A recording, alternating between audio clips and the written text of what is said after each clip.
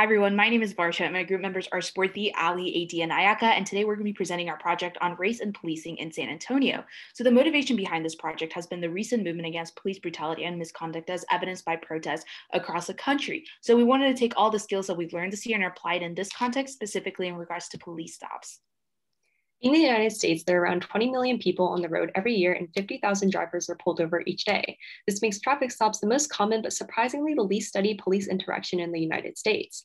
In a few large-scale studies that have been done, data shows that Black drivers are 20% more likely to be pulled over than white drivers during the day, but not at night.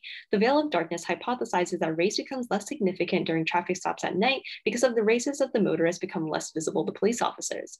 Because of this, we decided to focus our data analysis on traffic stops around drivers' races and the time of day that they were pulled over. For this project, we chose to look into the policing data of San Antonio because it is a high crime city in our home state of Texas, but also because of the abundance of data that we were able to get access to. San Antonio has a crime index of four, signifying that 96% of cities in the United States are actually safer than San Antonio, and there are 51 crimes per 1,000 San Antonio residents on average.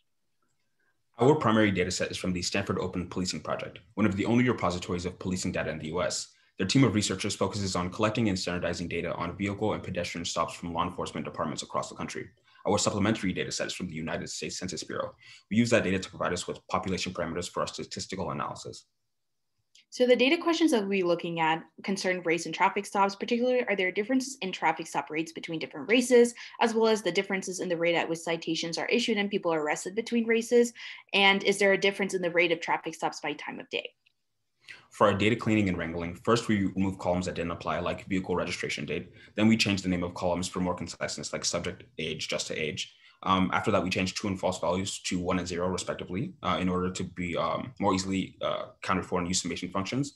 And then we change the uh, date and time into a more workable format. Um, and then after that, we condense the races into Black, Hispanic, White, and other for uniformity across the data sets.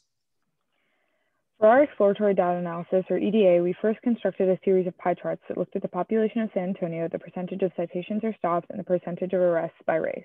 From this, we noted that Black people had a higher percentage of stops and arrests relative to their population percentage in San Antonio. Unexpectedly, we also noted that the proportion of white people stopped and arrested was overrepresented compared to the population, and that the proportion of Hispanic people stopped and arrested was underrepresented compared to the population of San Antonio. We also looked at these percentages in the form of a bar graph in order to better compare the differences in population stop and arrest percentages within each race. In order to examine our veil of darkness theory, we constructed bar plots of police stops comparing race and time of day. Our graph to the left, Varsha, um, showed the number of stops by the hour of the day. From this, we found that the most stops happened during the day from 7 a.m. to approximately 7 p.m. From our graph on the right, which compared the percentage of each race stopped during the day and night, we noted that Hispanic people were stopped at a higher percentage during the day, and second, that white people were stopped at a lower percentage during the day. Since these two initial find findings supported the veil of darkness theory, we decided to examine these further through hypothesis testing. As Spoorthi was saying, we used A-B testing in order to see the effects of veiled darkness theory on Hispanic and white populations and see if there is statistical significance.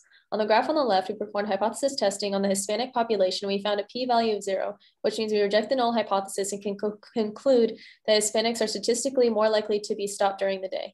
On the graph on the right, we performed hypothesis testing on the white population and got a, a p-value of one, which means we do not reject the null and can conclude that they are stopped equally between night and day. Next, we perform logistic regression and plotted the coefficients. If the coefficients for the race are negative, then that means that there's a low likelihood of that race being arrested. And if the coefficients are positive, that means that there's a high likelihood of that race being arrested. Here we took a balanced sample of arrests and non-arrests where non-arrests were picked at random, then performed logistic regression 1,000 times on 1,000 different samples. In this graph, we have the black population's coefficients in blue and the white population's coefficients in red. Since the coefficients are primarily negative for the white population and positive for the black population, we can conclude that blacks have a high likelihood of being arrested if pulled over, and whites have a low likelihood of being arrested if pulled over. Here we did the same thing with the same balanced data set, but with Hispanics and white population. And in contrast to the previous gra graph, we can see that Hispanics and whites both have pretty negative coefficients, which means that they both have a low likelihood of being arrested if pulled over. So here's a summary of our key findings. And um, with our veil of darkness hypothesis, we see that Hispanics are significantly more likely to be stopped during the day and Blacks are more likely to be arrested, pulled over. And further research and advanced modeling is needed to determine whether a difference by race exists when controlling for other factors. Thank you guys so much for listening to our presentation.